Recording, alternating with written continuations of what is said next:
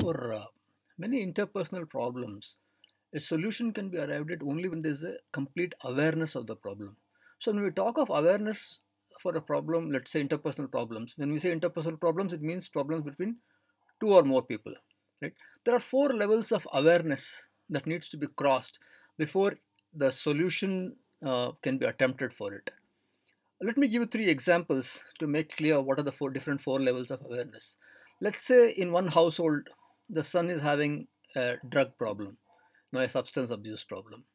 And in the second household, the husband is uh, having a extramarital affair. And in the third household, there's a senior citizen, a grandfather, who is having some symptoms of ill health, but not very sure. So in these three th- things, if you see it, none of them have still become an interpersonal problem as such. You know, it's not like one person has to know about the other person's problems. For instance, the person who is having the issue, like the son having the drugs or the husband having the extramarital affair, they might not even be thinking that it's a problem, right? So this is called a closed awareness. A closed awareness is the first level of awareness where nobody is aware of a problem, but a problem is definitely brewing up, right? So at closed awareness, either people don't think there's a problem or people are just not aware that anything is a problem at all. Then the awareness of the problem goes to the second level. Let's say the father discovers, you know, he kind of uh, uh, mm, mm, he suspects, you know, like the son could be up to something because there is a smell coming from the son when he comes near him. There's a smell of tobacco and weed mixed together, or uh, uh, the mother of the uh, child has discovered some substance in his drawer and she has confessed to her husband. So there's a kind of, you know, is there a problem kind of a thing that's coming into the minds of the parents. And the son is also beginning to think that maybe the parents are snooping around and could they be aware of it, right?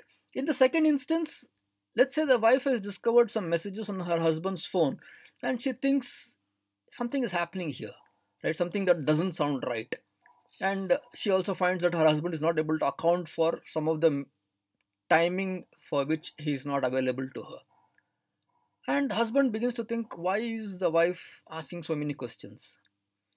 And in the third case, let's say the um, grandfather has confessed to some symptoms and they've taken him to the hospital.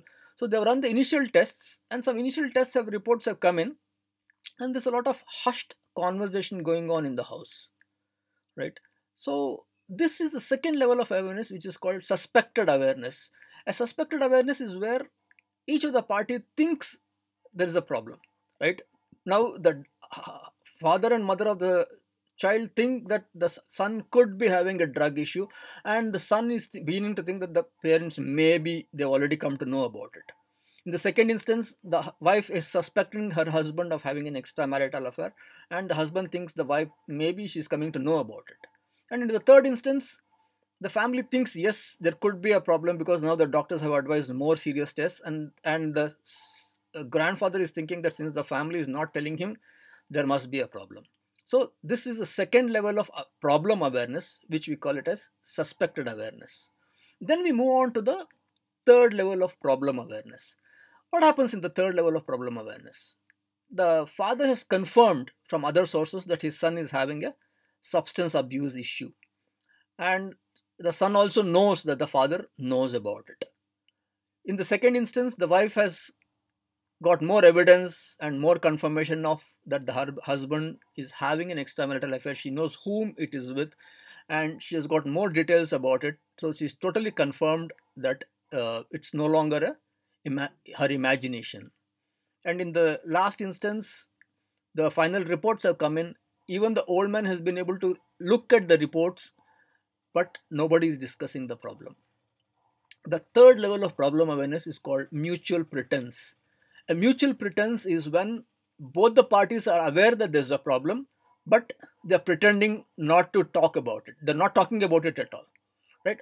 Sometimes we wonder if both the people know about it, why doesn't it come out? There are many reasons why it doesn't come out. One reason is that you know people are still processing the information. You know the parents are processing the information about the sub- drug abuse problem of their son, they could also be in a shock. The wife could be in a shock because she has discovered her husband is having an extramarital affair and she's really in a shock about the information itself. Secondly, the uh, mutual pretense occurs because each person is thinking of how to talk about it. Should we talk about it at all? You know, the son could be thinking, since my parents know about it, maybe I should go and confess to them that I have a, a substance abuse issue. And in the second instance, the husband could also be thinking, like, since the wife knows, should I tell? Should I not tell? And the wife is also thinking, how do how does she confront this issue at all? So people are still processing the information. So there's a there's a kind of a silence, you know, but it's a mutual pretense of that problem is not existing. One more reason why this mutual pretense comes in is because people could also be thinking that if they ignore the problem for some time, it could vanish.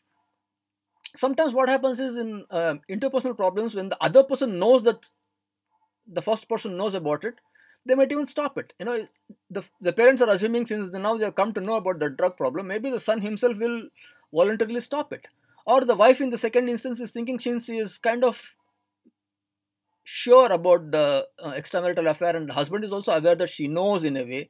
Maybe the husband will stop it and she doesn't have to confront him about the issue at all. So mutual pretense occurs for many reasons and mutual pretense is like the problem is there but we're not yet discussing it right? And there's a lot of bottled emotions that are going on in the mutual pretense time because there's a lot of churning that's happening in the mind about the problem itself, the shock of discovering a problem, and then how to deal with the problem. Right, so this is going on in the mutual pretense uh, stage. Then the problem awareness goes to the final stage, which is called as open awareness. Open awareness is when the problem is just out in the open. You know, the either the son has come and confessed that he is having a drug issue, or the parents have confronted the son saying, "What's the issue? How can we help?" or whatever other ways uh, they're uh, uh, tackling the issue. In the second instance, either the husband has come and told the wife that yes, he's having an extramarital affair, and what does he plan to do with it? You know, whether he wants to continue or whether he wants to break the marriage, whatever it is that he has decided. Or the wife has confronted the husband saying that I know about this, so what are we going to do about this?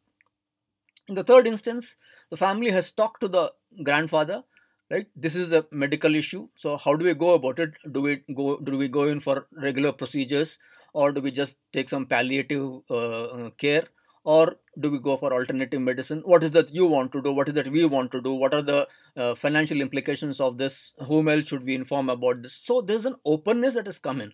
So when this comes in when the last level of uh, uh, problem awareness comes in the open awareness what what is called is open awareness there's a huge dam that has been burst right? So much of emotions that had been contained is now out in the open. There's a lot of anger there's a lot of either guilt anger sadness anxiety about what's going to happen in the future. So all emotions know there's a lot of mixed feelings amongst all the participants involved.